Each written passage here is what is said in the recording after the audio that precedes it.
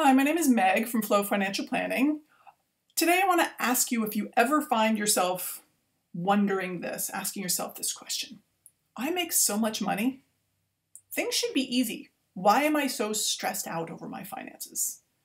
Because I find my clients ask themselves that, and other women in tech that I talk to feel that way also. And if you feel that way, know that you have a lot of good company in feeling that anxiety. Because even though this culture tends to teach us uh, that more money solves all of our problems, we still feel anxious even when we make that more money, right? Anxious that we're going to screw it up and lose the money. Anxious that we don't understand how everything works and we're either going to lose the money or miss out on, on further opportunities. These are totally legitimate concerns, right? Um, I mean, financial literacy in general is kind of a joke in this country. A lot of us don't come from family backgrounds where even sort of foundational financial planning, personal finances was modeled. Um, so, you know, maybe we didn't enter into the workforce having a good understanding of emergency funds or IRAs or 401ks. And if we don't have that foundational knowledge, and then the tech industry starts throwing at us you know, after tax contributions to 401ks and RSUs and private companies with double trigger vesting and employee stock purchase plans with 15% discounts and a look back period. Of course, we're stressed out. Like, that's complicated stuff.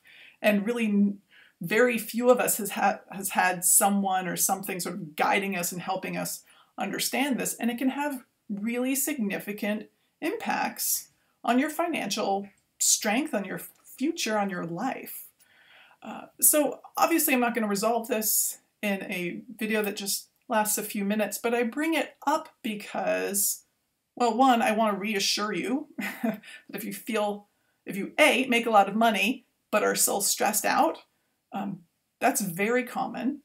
Um, and B, or two, I forget my numbering system here, um, a lot of people also feel embarrassed, right? Like, oh, I make so much more money than most people do. And yet I feel stressed out. What's wrong with me? Well, what's wrong with you is that there's a lot of uncertainty and a lot of risk, probably, if you don't understand how your finances work. Again, so really quite a rational response to it, even though you do make a lot of money, or really because you make a lot of money. Um, the good news is, is you can learn this stuff. It's not rocket science. Um, you can start by, you know, reading my blog, you know, uh, at flowfp.com slash blog. Uh, you know, it's it writes about topics of relevance to women in the tech industry. And there are lots of other resources out there that you can learn from. Or you can work with a financial planner. And I'd say the two biggest benefits from the financial planner one is just short, shortcutting that learning curve, right? A financial planner works with this stuff all day, every day. It's their bread and butter. They know it backwards and forwards.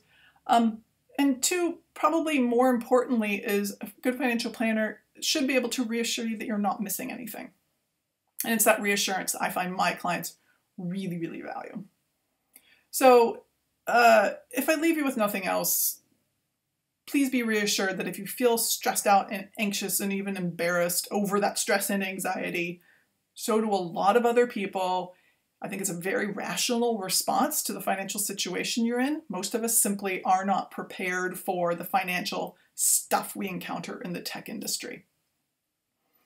Uh, so again, this is Meg from Flow Financial Planning. I hope this has given you a little something to chew on, a little reassurance, uh, and I will see you next time. Bye.